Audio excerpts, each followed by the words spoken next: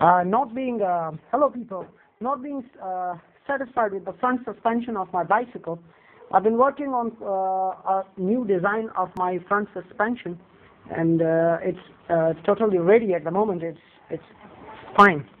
Here it is. It's very soft. It can take the hardest bump and absorb it into itself and never give me any kind of shock. So it's here in front of you.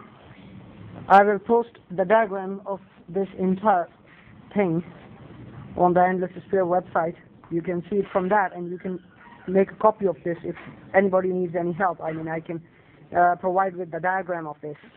It's actually, it was a simple fork without having suspension as you can see the weld. I have bought some pipes out of the stores and I welded it onto this. And there's another pipe inside this. There's a mechanism complete. The mechanism without the diagram, it may not be, uh, you may not be able to understand how did I do it. And uh, it's fully functional. It's so soft. Let me demonstrate. Uh, I hope I able to demonstrate like this. You see, with small amounts of force, it can it can compress with very small force. So in case of higher bumps on it take away all the shocks and everything. It's going to be very soft, though it's a very heavy duty stuff. What I've made is a lot heavy duty. It may be able to be fitted into a small bike. I mean, it's it's really good stuff.